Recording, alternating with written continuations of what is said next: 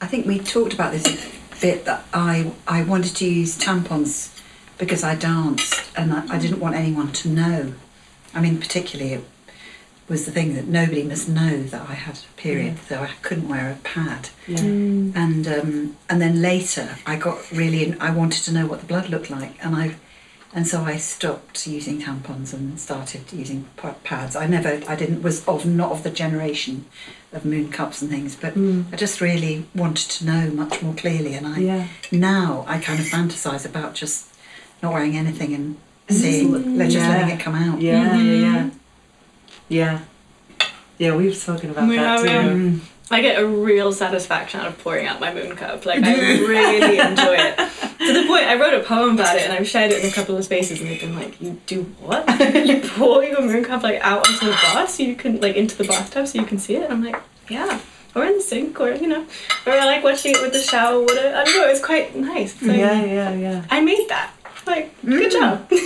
But it's fascinating, and, we, and Rosie and I were talking about this the other day, actually, so about the moon cup, which I've not, I've not, I've still not tried yet, and I really need to, um, I love it. for many different reasons. But I'm curious about that sort of like what what that experience is of really like seeing how much, Mhm. and yeah, there's definitely times where like clots come out, and you're just like, wow, Yeah. what is that? Yeah, yeah, yeah, yeah. Like, okay, don't be grossed out by it. Like, it is just part of you. Yeah. yeah. And it's life, isn't it? I mean, blood is Yeah. so full of life. It's amazing. regarding the dance thing, I so I Mm. ended up speaking to a childhood friend of mine that I grew up dancing with, and it was funny because we had, I remember being really close with her and us both being like, "What's gonna be like when we get our periods?" And so I reconnected with her, and we were saying, "Isn't it funny that in a dance studios, which are predominantly female run and students, and it's a female space, Mhm. but there's so much." Um, don't show imperfections world. Yes, And so yeah. we all felt like, oh God, if my underwear is showing, or my str- the string from the tampon or pad, like Yeah. the shame of that. Yeah, and it's yeah. like, but it's a female-driven space, you Yeah. know, and and the ways in which we don't do that for each other. Yeah, I think that's so interesting, and Yeah. I, I, I don't remember. I had an older sister, and I don't remember asking her anything.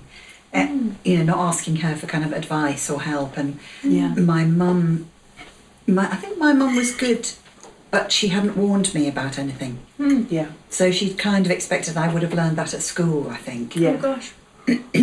So I hadn't. We hadn't had conversations about it.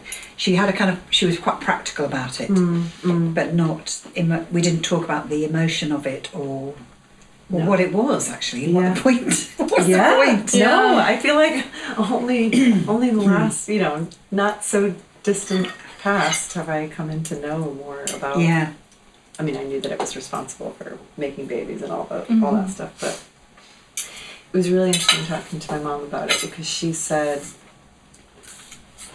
she had this kind of.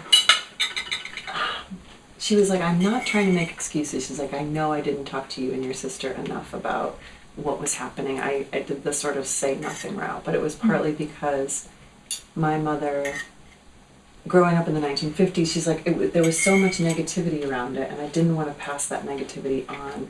And so I think Mm. in saying nothing, that was sort of like the only way I knew how to be, be progressive. Mm. And I just thought, oh, that's so fascinating. yeah yeah mm. And then you know, and of course it's it is generational, but it's also like you know, what kind of world are you growing up in? And Sue, obviously, you're in a more artistic world, so like.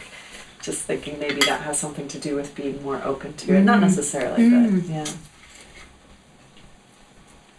Yeah. I, I and I, I think it also I feel as if there was a kind of time where it was a bit confused about if you talked about it then you weren't embracing all the possibilities for women. So women must not have anything that mm. impedes them. Right. And so mm.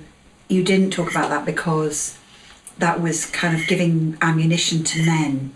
Yeah. To, to, to, to suggest that you had more difficult times or you had this Yeah. going on all the time or you'd be very emotional. Yeah. Mm. So you didn't talk about it in order to be a sort of super independent woman who could do anything. Yeah. And I think that's this change that I see is is you know is younger women saying, "Yeah, I can do anything, and I have a period." By the way, Mm-mm.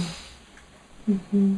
Yeah, and yet there, there's this sense, and I'm curious, Bella, for Mhm. like your age and younger, there's going to be more of a freedom than in my generation. That is just like we are starting to unlearn that stuff. And a this childhood friend that I was talking about was saying like, I am all on board for we are becoming more open about this stuff. She's like, and yet there is still a part of me that's like, I don't know that I'm going to go run around showing you my tampons, and I'm not necessarily going to talk about Mm. that I have my period right now. and you need because there's still this. Partly because it's like, are you going to use this against me, or Right. have I just learned how to hide so much that I don't know how to unhide? Mm. you know. So Mm. I'll be curious because I feel like I have that. Even in making this project, I'll be like, oh yeah, I'm. It's inspired by the menstrual cycle, but don't wor- like. It's not going to be like bloody vaginas everywhere, Mm. you know. Mm. And What if it was though? but what if it That'd be was? See, a couple more days of shooting. Yeah. Way more intimate See you now. waving your tampon around. Woo!